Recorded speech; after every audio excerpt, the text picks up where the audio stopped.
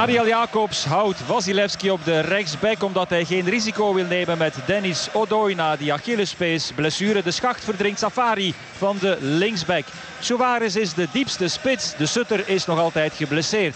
Geen Vezerinovic bij Kortrijk. Hij wordt gehuurd van Anderlecht en kreeg geen toestemming van Paarswit om te spelen. Die andere huurling, Chavaria, mag dat wel. Achterin speelt Van der Broek in de plaats van Zukanovic in het hart van de minst gepasseerde verdediging van de Jupiler Pro League. Jean-Baptiste Bultink leidt zijn eerste match in de hoogste klasse dit seizoen. Juhaas kan de bal een beetje voor zich uitdrijven. Terwijl het nog eh, zoeken blijft voor Anderlecht in de beginfase van de wedstrijd. Bijna 10 minuten gespeeld intussen. Hier is Kouyaté. Gillet.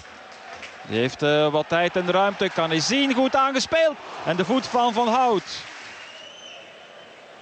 David van der Broek valt al vroeg geblesseerd uit. 11,5 minuut gespeeld. En dan moet Hein van Azenbroek al gaan wisselen.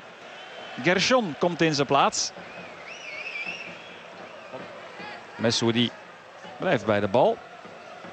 En probeert dan binnendoor te spelen naar Brecht Capon. Goed gedaan van Klies. Dan houdt hem goed af. Suarez met de linkerflank voor hem. En Jovanovic die de bal vraagt en zwerft naar het midden. Daar gaat het ook naartoe. Jovanovic! Wat een knap uitgespeelde counter van Anderlecht. Met Suarez die snelheid maakte en Jovanovic die op een hele mooie, knappe manier positie koos. En zo tikt hij de bal binnen. En het is Gershon die de bal mist. Hij staat nog geen minuut op het veld. Liestan bij Kortrijk. Iedereen uh, teruggedrongen in afwachting van de aanval die wordt opgezet door Anderlecht. De schacht. Soares, Jovanovic. Hij zoekt de controle.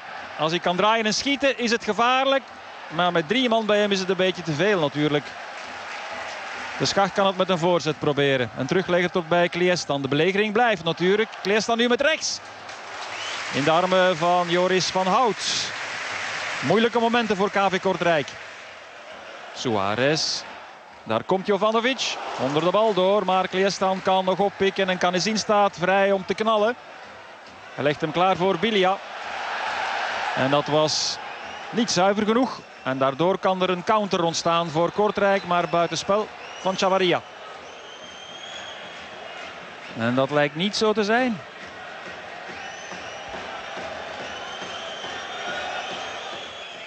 Mulemo. Chavaria. Ja, hij is door. Kouyaté zit hem achterna en tikt hem aan. En de scheidsrechter laat begaan.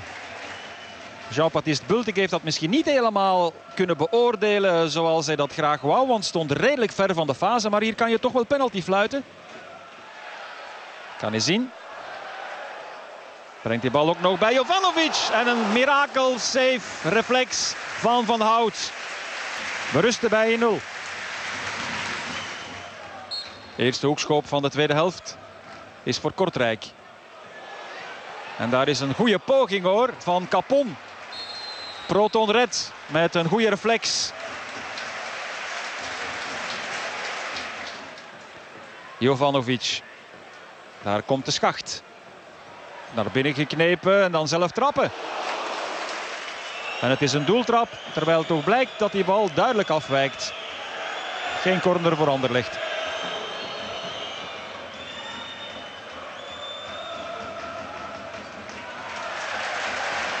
Suarez.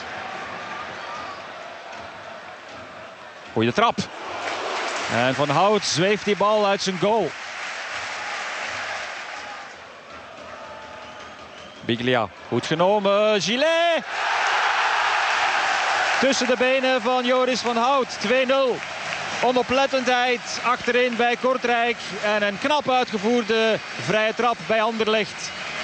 Leidt Paarswit naar een dubbele voorsprong. 2-0. Na dik 10 minuten in de tweede helft.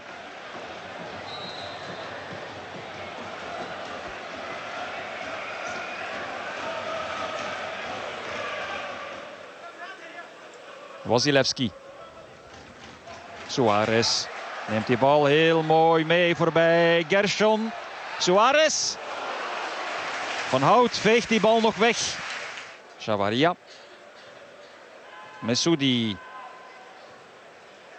Monroos. Monroos nog.